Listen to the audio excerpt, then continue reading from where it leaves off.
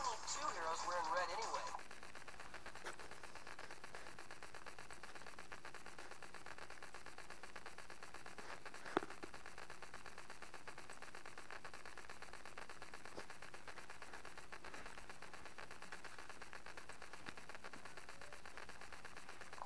Whoever wins has to change into a yellow outfit.